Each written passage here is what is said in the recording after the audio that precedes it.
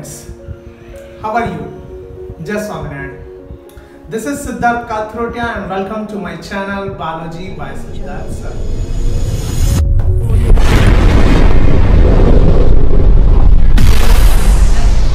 अब हम समझते हैं असेक्सुअल रिप्रोडक्शन सिस्टम हमने जैसे आगे बात की कि असेक्सुअल रिप्रोडक्शन सिस्टम में एक ही पेरेंट होता है और वो ऑफस्प्रिंग को बॉर्न करता है देन हमने आगे बात की थी कि सिंगल सेल ऑर्गेनिज्म मतलब यूनिसेल्युलर ऑर्गेनिज्म इमोर्टल होते हैं। लेकिन तब मैंने बताया कि इमोर्टल बायोलॉजिकल इमोर्टल होते हैं।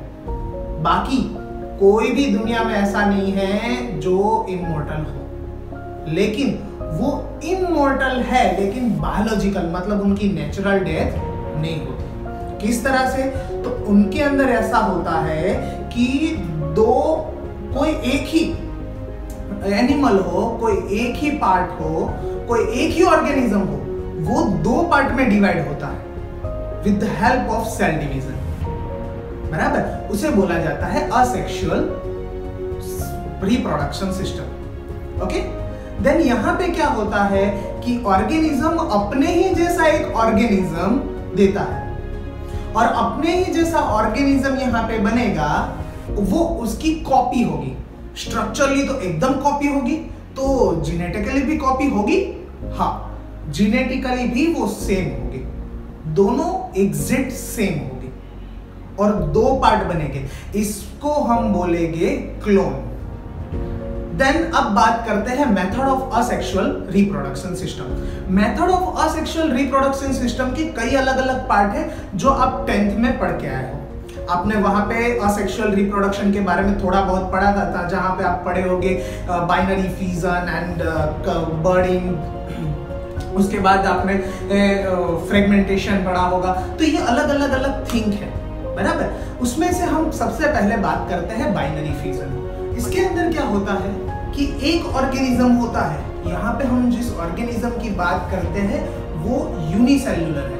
देन वो ऑर्गेनिज्म के अंदर सिंगल सेल है तो एक न्यूक्लियस वो डिवाइड होगा और न्यूक्लियस डिवाइड होने के बाद वो ऑर्गेनिज्म दो पार्ट में डिवाइड हो जाएगा। मतलब उसका क्या हुआ कि एक ऑर्गेनिज्म से हमें दो ऑर्गेनिज्म लेकिन अनमेच्योर दो ऑर्गेनिज्म मिलेंगे। यहाँ पे अनमेच्योर दो ऑर्गेनिज्म या तो हम ऐसा भी बोल सकते हैं कि दो अनमेच्योर सेल मिलेंगे।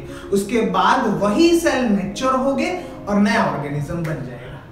इसका एग्जांपल है अमीबा ओके देन अमीबा के अंदर ऐसे ही एक दूसरा असेक्सुअल रिप्रोडक्शन सिस्टम होता है, जिसके अंदर क्या होता है कि अनफेवरेबल कंडीशन के अंदर अमीबा अपने जो शुडोपोडिया है, उनको अंदर खींच लेता है।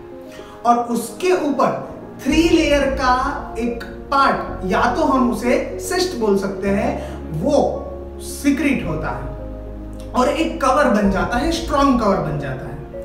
अब उसके बाद क्या होता है कि वो स्ट्रॉन्ग कवर जो ये स्ट्रॉन्ग कवर बना, उस स्ट्रॉन्ग कवर बनने की जो प्रोसेस है उसे बोला जाता है एंसिस्टेशन ओके देन ये एंसिस्टेशन की जो प्रोसेस है, उसके बाद क्या होता है कि जब फेवरेबल कंडीशन आएगी, तब अमीबा के जो ऊपर जो ये लेयर बने हैं थ्री लेयर बने हैं, वो लेयर टूट जाएगी। और ये लेयर टूटने से क्या होगा कि अंदर से छोटे छोटे छोटे स्पोर निकलेंगे और वही स्पोर फिर से नई अमीबा बनेगी। तो हमने जो आगे बात की थी कि असेक्सुअल रिप्रोडक्शन में भी with the help of gamete formation या without help of gamete formation तो देन गैमेट फॉर्मेशन के साथ जो होता है, वो ये प्रोसेस इसे हम बोलते हैं स्पोरिलेशन तरह से देखें तो ये जो गैमेट फॉर्मेशन है उनकी बात करें तो असेक्सुअल रिप्रोडक्शन रिप्रोडक्शन के ऐसे कई अलग अलग पार्ट हैं, जिनके अंदर गैमेट फॉर्मेशन होता है। जैसे कि बात करें तो क्लेमिडोमोनास की। तो क्लेमिडोमोनास के अंदर क्या होता है कि जो मोटाइल जूस पोर है, वो धीरे धीरे धीरे इसके अंदर से अलग होते हैं। और वही जो अलग हुए जूस पोर है, वो नया ऑर्गेनिज्म बनाएँगे। उसी तरह से पेनिसिलियम की बात करें तो पेनिसिलियम में क्या होता है कि उनके अंदर कॉनिडिया अलग होते हैं छोटे छोटे कॉनिडिया अलग होते हैं और वो नया, उसमें से नया ऑर्गेनिज्म बनता जाएगा। नेक्स्ट बात करते हैं बर्डिंग की। बर्डिंग के अंदर क्या होता है? तो बर्डिंग बात करें तो ईस्ट के अंदर भी बर्डिंग होता है, लेकिन उसके अंदर क्या होता है कि ईस्ट के कोई एक पार्ट में से बर्ड जैसा पोषण निकलेगा, उनके जैसा ही पोषण निकलेगा और वो फिर से नया ऑर्गेनिज्म बनेगा। उसी तरह से हाइड्रा में भी होता है। हाइड्रा में क्या होता है कि हाइड्रा है, उसके बाजू में से ही वो बर्ड्स निकलती है और वो बर्ड्स पहले बाद में अलग हो जाती है और वो नया ऑर्गेनिज्म बनाती है। नेक्स्ट बात करते हैं गेम्यूल्स की। उसका एग्ज़ाम्पल है स्पॉन्जी स्पॉन्जी के अंदर क्या होती है? छोटी छोटी गेम्यूल्स होती है और वो गेम्यूल्स निकल के नया ऑर्गेनिज्म बनाती है। और उसे बोला जाता है asexual reproduction system then next बात करते हैं वेजिटेटिव रिप्रोडक्शन तो आप टेंथ में इलेवेंथ में पढ़ के आए हैं असेक्सुअल रिप्रोडक्शन सिस्टम अलग है वेजिटेटिव रिप्रोडक्शन सिस्टम अलग है। लेकिन असल में देखा जाए तो वेजिटेटिव रिप्रोडक्शन सिस्टम एक तरह से असेक्सुअल रिप्रोडक्शन का पार्ट ही है। क्यों? बिकॉज़ द रीजन कि असेक्सुअल रिप्रोडक्शन में जैसे सिंगल पेरेंट के थ्रू नया ऑफस्प्रिंग बनता है, उसी तरह से वेजिटेटिव रिप्रोडक्शन में सिंगल पेरेंट से नया ऑर्गेनिज्म बनता है। और नया आप इस तरह मतलब कि नया ऑफस्प्रिंग बनता है। इसके अंदर अलग अलग वेजिटेटिव प्रोपोगेशन है, उसके थ्रू नया ऑफस्प्रिंग बनता है।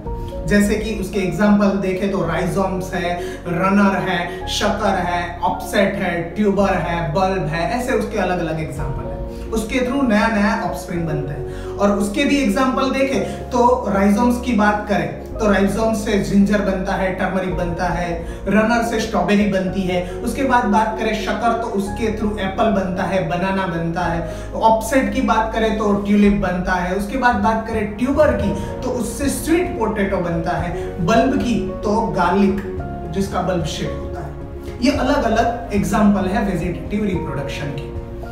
लास्ट बात करें तो फ्रेगमेंटेशन की। तो फ्रेगमेंटेशन के अंदर क्या होता है कि फ्रेगमेंटेशन के अंदर छोटे छोटे छोटे टुकड़े बढ़ जाते हैं ऑर्गेनिज्म के और वही टुकड़े मैच्योर होके नया ऑर्गेनिज्म बनता है। इसे बोला जाता है फ्रेगमेंटेशन ये असेक्सुअल रिप्रोडक्शन का सबसे बड़ा एग्जांपल है terror of Bengal terror of Bengal ये है क्या? तो एक तरह का प्लांट है जिसे बोला जा सकता है हाइसिंथ ये इसके फ्लावर देखने में बहुत मस्त लगते थे, इसलिए उसे बाहर की कंट्रीज़ में से हमारी कंट्रीज़ में लाया गया। और यहाँ पे इसका प्रोडक्शन किया गया। लेकिन प्रॉब्लम क्या हुआ कि ये बहुत ही ज़्यादा क्वांटिटी में असेक्सुअल रिप्रोडक्शन करते थे।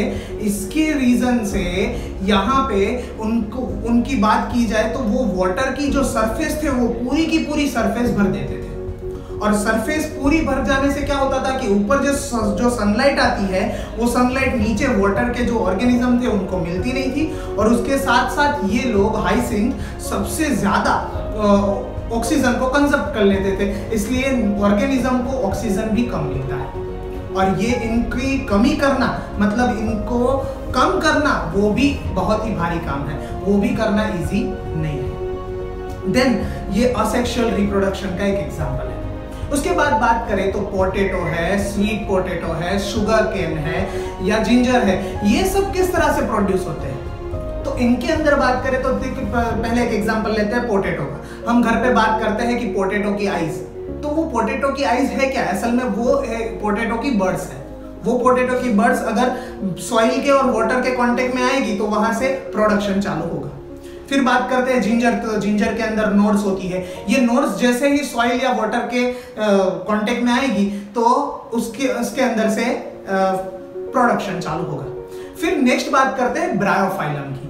तो ब्रायोफाइलम के अंदर क्या होता है कि ब्रायोफाइलम के जो लीफ होते हैं, उन लीफ की जो मार्जिन होती है मार्जिन पे थोड़ी थोड़ी कटिंग्स होती है। इस कटिंग में से वहाँ से थोड़ी थोड़ी बर्ड्स निकलती है और ये बर्ड्स से नया प्रोडक्शन होता है। इस तरह से उसके अंदर असेक्सुअल रिप्रोडक्शन होता है।